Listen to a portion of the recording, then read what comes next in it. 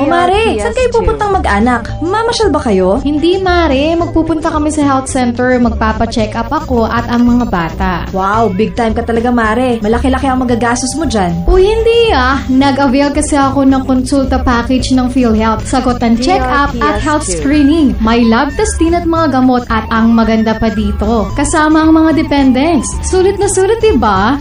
Para maiwasang lumala ang sakit, magpakonsulta na. Para sa iba pang detalye, bisitahin ang www.philhealth.gov.ph.